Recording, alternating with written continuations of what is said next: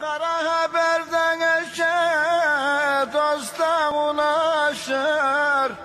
Yavrularım babam diye meleşir Layık mıdır